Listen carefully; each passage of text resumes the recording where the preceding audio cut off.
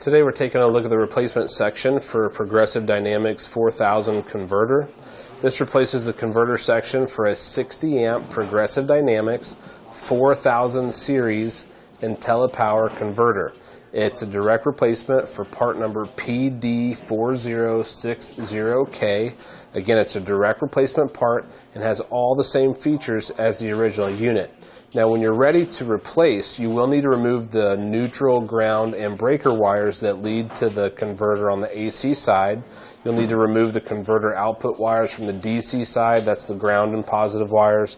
Then you'll need to unscrew the screw that actually holds the metal converter plate to the plastic housing. And then to get the new one installed, you just repeat those steps in reverse to install your new converter section.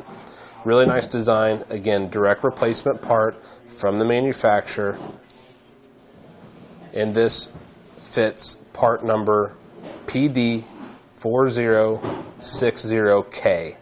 That's going to do it for today's look at the replacement section for Progressive Dynamics 4000 series converters.